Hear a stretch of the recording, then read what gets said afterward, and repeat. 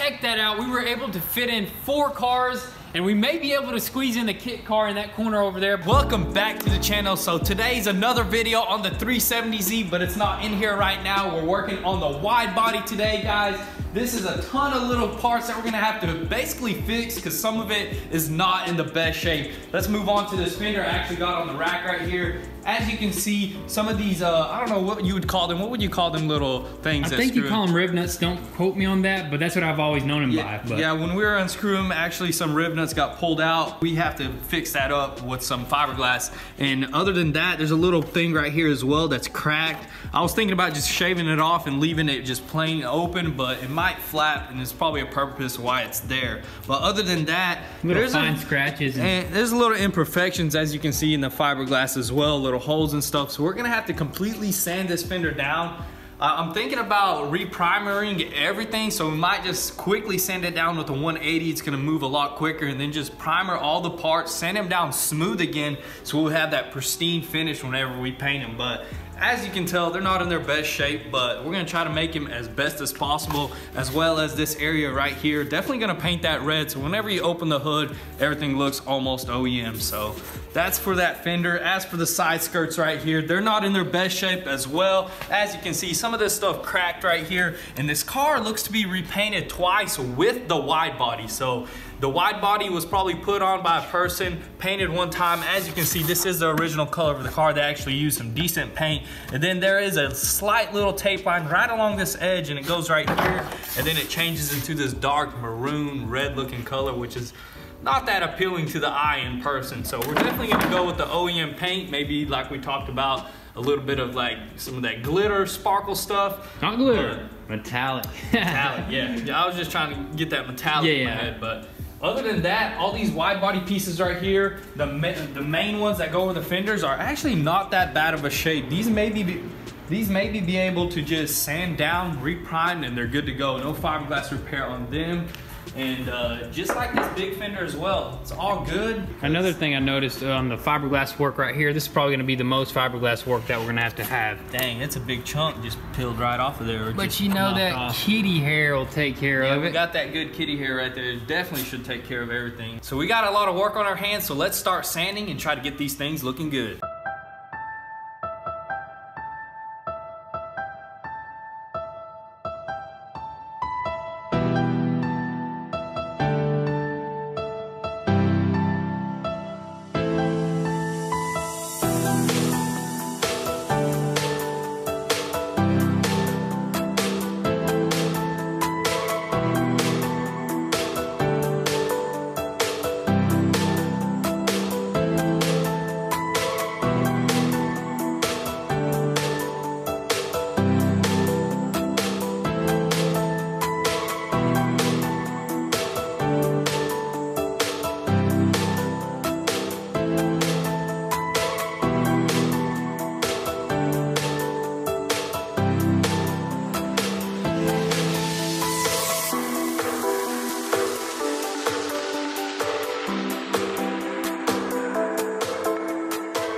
So we just finished sanding this fender. I did apply some fiberglass right here, but I'm gonna let that dry. And in the meantime, while it's drying, we're gonna move on to the other fender here. It's gonna need a little bit more fiberglass repair. As you can see, there's like a big chunk that's been taken out. I don't know what happened there. Maybe a rock kicked up when he was driving and it hit that and just cracked it completely.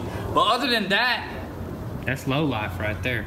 Yeah, that is definitely low life right there. But other than that, we're just gonna sand the whole fender with a 180. This one's almost ready for primer. And then once we sand this fender, fix that, then the rest of this stuff should be easy. Like I said, these fenders were gonna take the most time. So we're gonna knock this out real quick and then move on.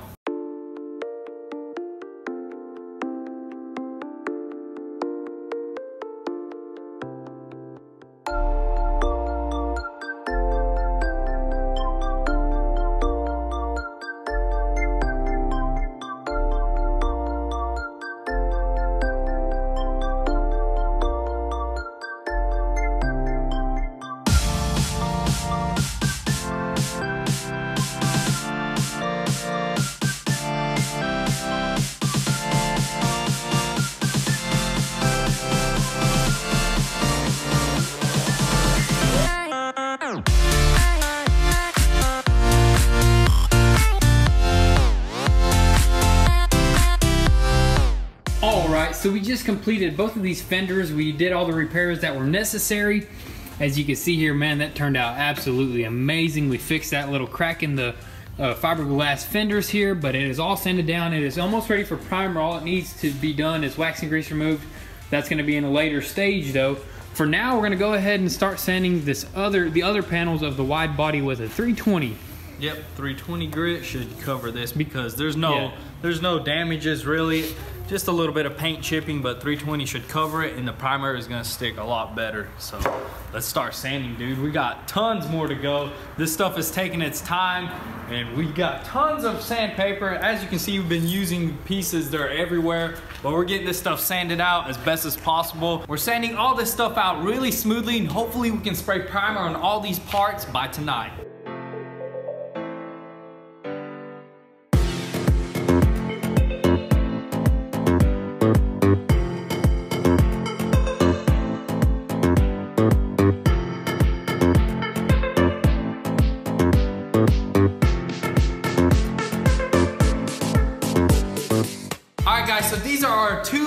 And final pieces that we gotta sand, and then we're gonna start primering. These are our longest pieces right here, and uh, they shouldn't take too long. There is a few things that we gotta repair. As you can see, the fiberglass crack here and here. Super simple to fix that. Other than that, we do have to take off some kind of, I don't know what that undercoating or some kind of, Yeah. almost looks like, Plastidip. It's like a plastidip. yeah, it's like a plastic dip, just peels off. We're gonna have to peel all that off, sand it with a 320, and then guys, we're gonna start primering. So let's go ahead and try to knock these things out as quick as possible.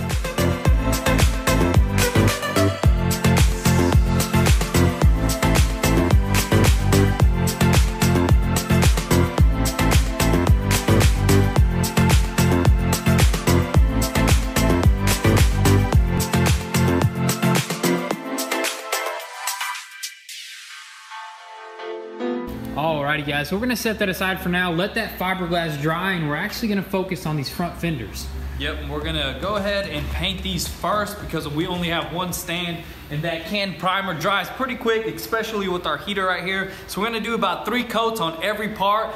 And once we throw three coats on this, throw our, uh, what is that black stuff called? The the, The guide coat. Guide coat. And then yeah. we're gonna throw our guide coat, then we're gonna move on to our other fenders. So Yes, we're just sir. gonna go in pairs and hopefully get all this stuff primed in.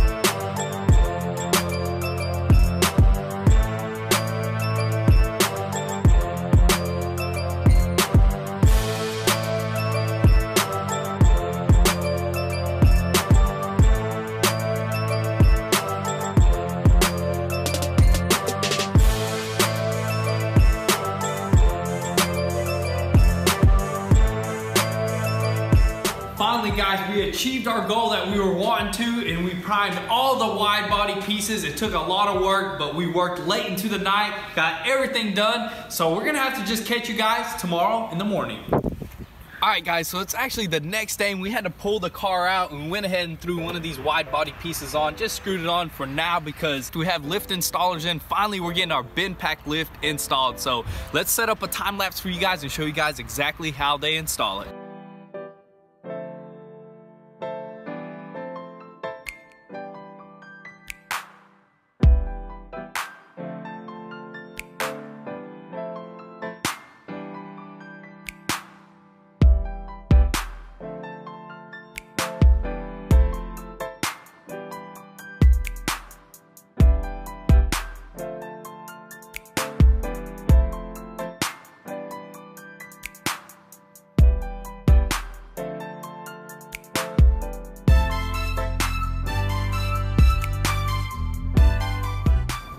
Check that out. We finally got our BendPak lift installed. We've been waiting on this moment for a very long time. It's just been chilling on the side there. Now we can pick up vehicles and work on anything underneath. It's just gonna be so much easier now. So huge shout out to BendPak, man. I gotta say, they're probably one of the highest quality lifts in the game right now. So check them out if you wanna get you a lift. So actually it is not wired up yet because it does require a 220. They did test it with a 120. Everything works great. So we're actually gonna run to the store right now, pick up some supplies and hopefully get this sucker wired up and we can lift up a vehicle.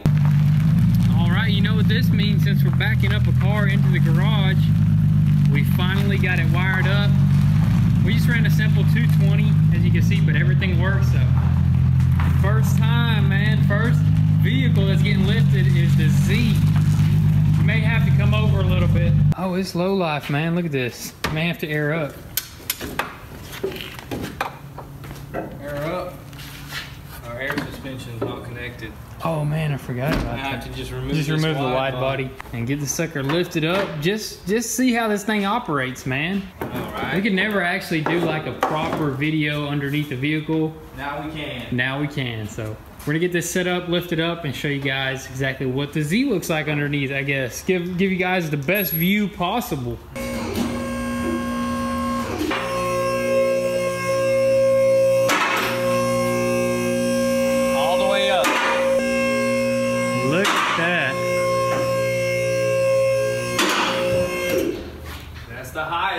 Highest. It stop? Yeah. That's the Perfect. Good. Finally, we hmm. can Is be it able- safe under here? It's safe. It's safe. It's Look at that. Oh, That that's is so legit. sick. We, we would have been changing it like The this, suspension would but have been a lot easier, dude. That is legit, though. but look at that, dude. This is so awesome, We man. change exhaust so much easier now, dude. Exhaust videos. Look at this. Look at this sick shot, man. Just Look at this old Oh, exhaust one's- that's still on here. So it does have axle back, like we said. what do you guys think? Should we do a, a full exhaust?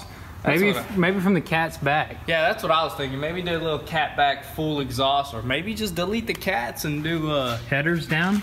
Yeah, because they got. How hard the is sto- Are these the cats right here? Yeah, that's cats. All right, because look, they just unscrew right there. We can do headers down.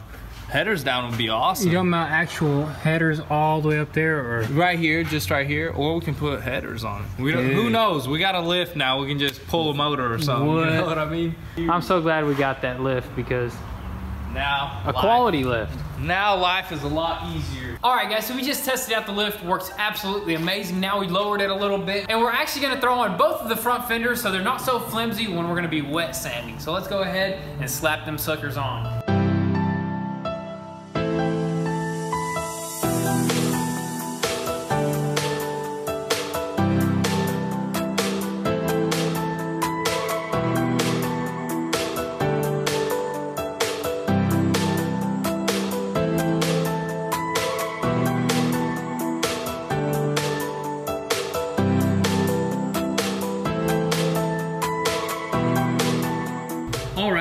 Just threw on the front fenders and the front wide body just so they wouldn't lay around and uh, get dinged up and whatnot.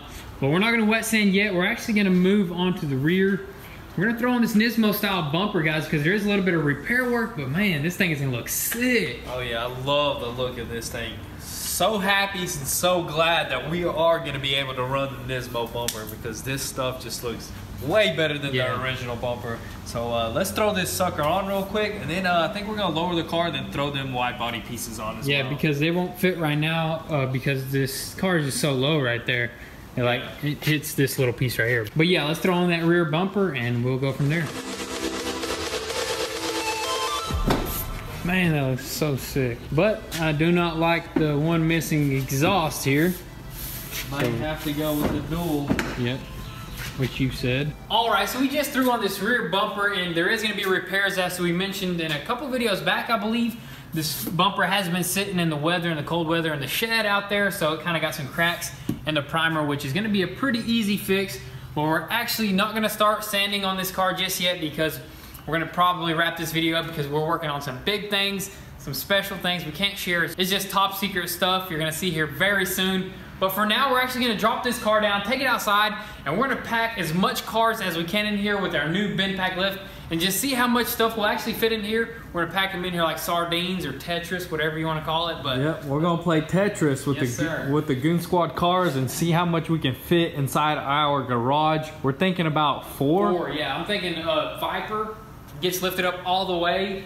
Um, the Batmobile gets parked right here, and um, maybe the Z01 like that, or the GTR like this, and then two more. I don't know. Let's just let's just go ahead and drop this down and start pulling cars in here and see what we can come up with. Let's do it.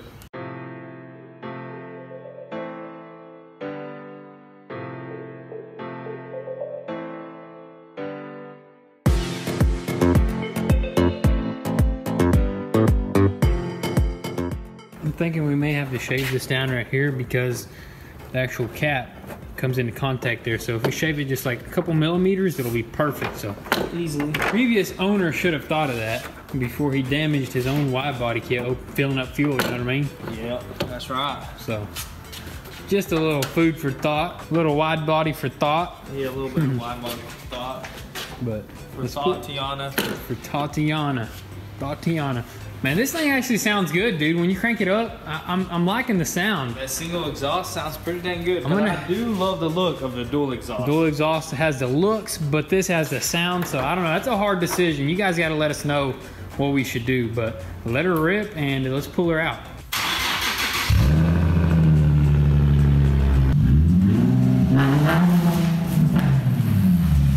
Dang, Billy, he's doing full sins.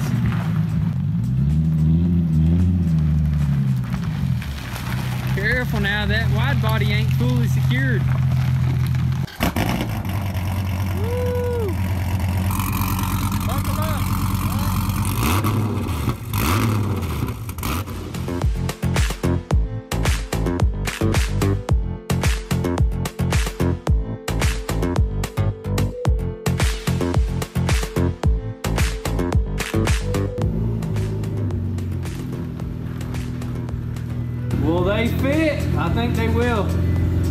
Help you out. Keep on going. All right, stop. Let me see up front. The garage door closed. Woo! That's gotta be it. Let me help you out real quick. You gotta hold that door. Is there a rubber piece? No, Oh, man. it's on the lift section. Let's see if that front garage door or that garage door will close. Do it, man. Shut her down. Might just uh, pinch that lip. Oh, we're good, I should man. have pulled up a little bit. That way this door will open a little bit better. But look at that, man. It's Dude, awesome. that is perfect, dude. We got three in here so far. I think we can probably just get one more, and that's it. Because we do have these posts here, and it's a mess right there. Yeah, I guess one more will fit. One more will be just right. That's good. Alrighty guys, check that out. We were able to fit in four cars and we may be able to squeeze in the kit car in that corner over there, but we may have to clean some stuff up.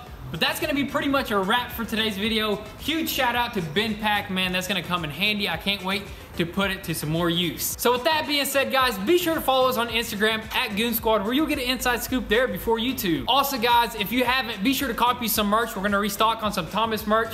I know a lot of you guys have been asking, so be on the lookout at goonzquad.com. If you're brand new to the channel, be sure to like and subscribe. Stay tuned, and we'll catch you next time. Peace.